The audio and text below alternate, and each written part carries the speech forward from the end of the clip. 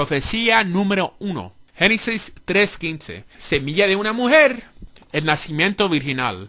Y el cumplimiento Lucas capítulo 1 versículo 35 y Mateo capítulo 1 versículo 18 al 20.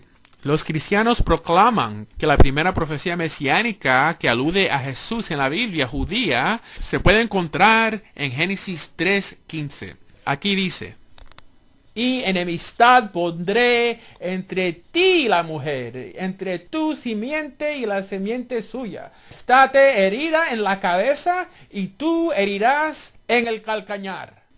Ahora, cualquiera que haya debatido este verso con un cristiano habrá escuchado, ajá, la semilla de una mujer claramente se está refiriendo al nacimiento virginal. ¿No sabías que Jesús fue el único individuo que ha nacido de la semilla de una mujer? Porque todos sabemos que la gente nace de la semilla de un hombre, no de una mujer. Bueno, ¿que están correcto?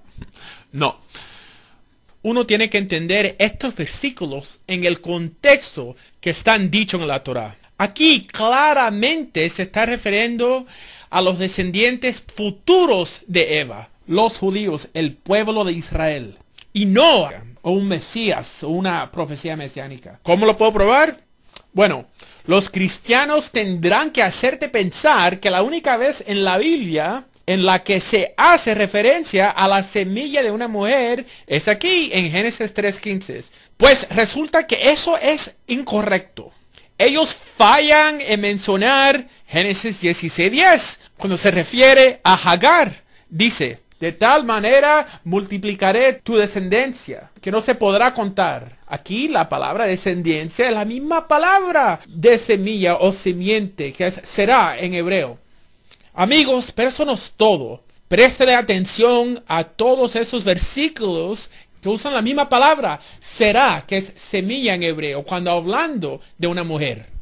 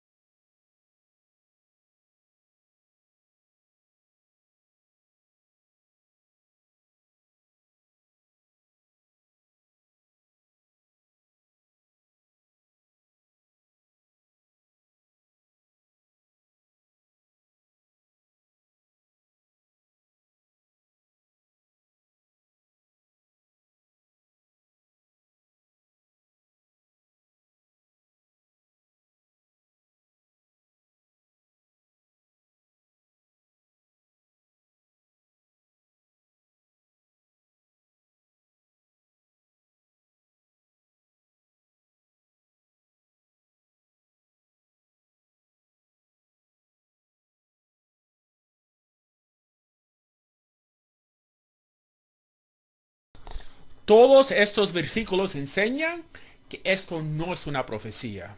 Entonces es 1, 6 y 2. 1 no es una profecía. 6 el argumento no es consistente bíblicamente.